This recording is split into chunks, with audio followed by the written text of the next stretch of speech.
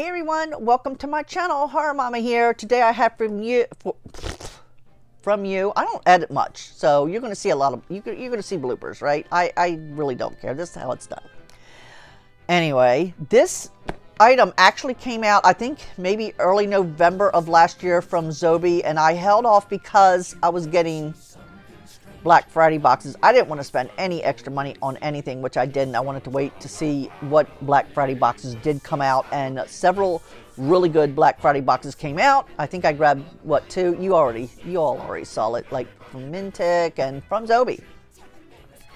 But anyway, I saw Erica of EA Horror, and if you like, um, you know, horror videos, she buys a lot of stuff too and does unboxings. So her information's below. Um, this is the second time she's got me in trouble with buying more boxes. Anyway, I got this through uh, Zobie, and with my 20% off uh, discount, I did all right with it.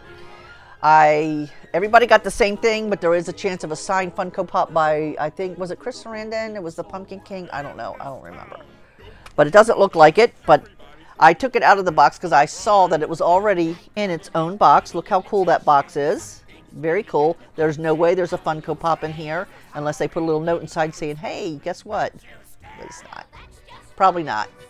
But I liked, everybody got the same thing. I liked what was in it. And um, I'm going to show you right now what was in this box.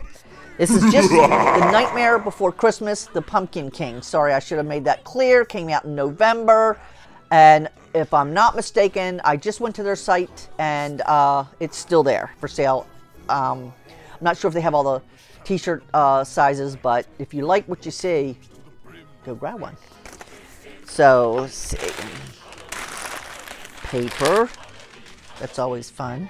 But anyway, this, I'm going to show you the other stuff first because I saw it. Um, I'll show you my favorite last. But there is a really nice sticker.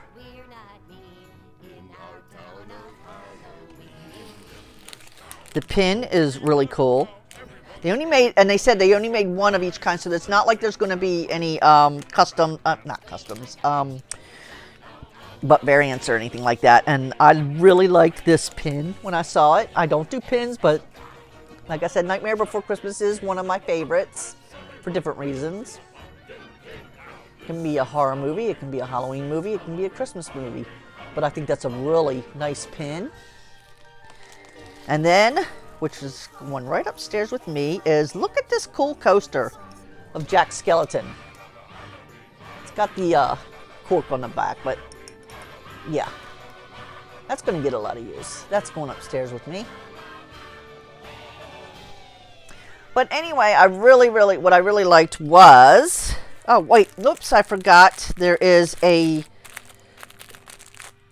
Zero keychain. Zero is so adorable. That's the Funko Pop I still need to get. I don't know why they have it signed by Frank Welker.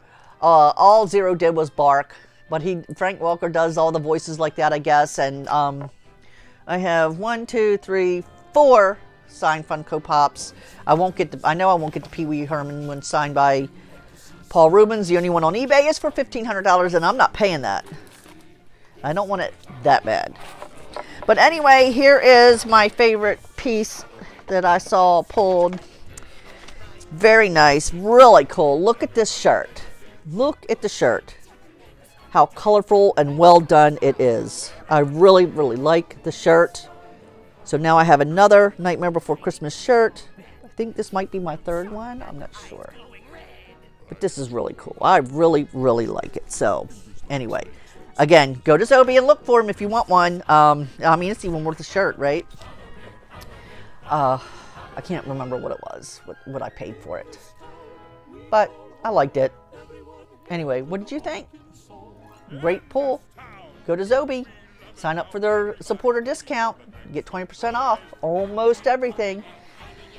I don't think I've ever been disappointed with them in over the few years I've been using them. So you all take care. Thank you for joining me. Peace.